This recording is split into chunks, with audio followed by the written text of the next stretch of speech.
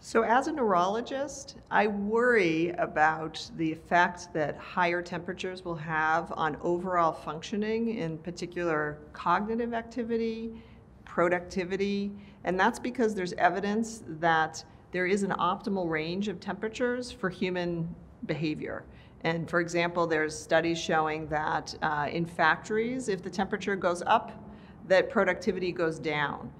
Um, if you just decrease the temperature by just a couple of degrees, productivity goes back up again. And so there is a concern um, overall that our overall functioning is going to be impacted by these higher temperatures that are going to affect the globe um, as we think about global warming. And in particular, thinking about the brain and thinking about the nervous system, that we won't be uh, functioning at our optimal uh, levels because of that.